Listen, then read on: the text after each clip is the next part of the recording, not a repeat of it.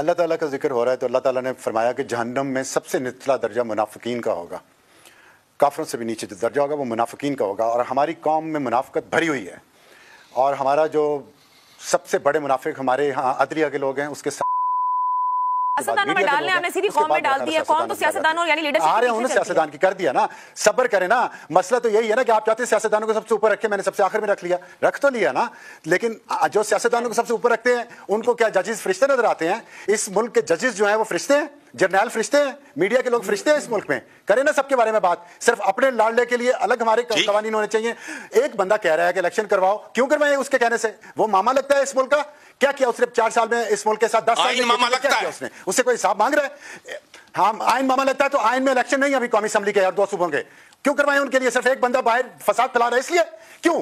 फसाद और तेजाब का गुसल करना है ना तो जजों से करें। जिनका सबसे पहले हिसाब होना है अल्लाह के सामने भी जो ज़िंदगी और मौत के फैसले करते हैं और टेलीफोन कॉलों पे वो साजिशें करते हैं टाउट वकीलों के साथ और फिर वो लीक होती हैं कॉल्स और फिर ढिटाई के साथ अगले दिन जाके अदालत में बैठ के उसी केस में उसी बंदे के हक में फैसला देते हैं और फिर डरले से घर चले जाते हैं।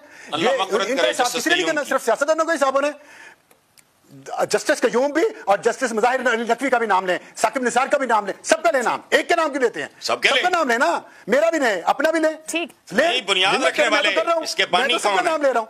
मैं तो सबका नाम ले रहा हूँ। मैं कह रहा हूँ करें तेजाबी गुसल।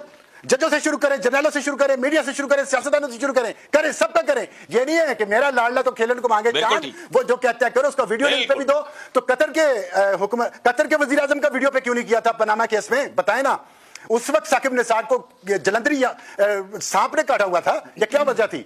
तो साकिब निसार करे तो ठीक ये करे तो गलत ये तो कोई इंसाफ ना हुआ ये तो कोई बराबरी ना हुई। इंसाफ और कानून सबके लिए एक जैसा होना चाहिए। वो कौमें तबाह हो जाती है हमारे महात्मा ने कहा हमारा महात्मा रोज़ाना कहता है वो कौमें तबाह हो जाती है जहाँ ताकतवरों के लिए और असूल कमज़ोर के लिए और असूल एक रखे असूल एक असूल रखे मेरे लिए भी रखे मुझे सबसे पहले शुरू करें। मैं ये फलाने को। फलाने को आग लगा दो नहीं एक पाकिस्तान और यही होना चाहिए। आइन और कानून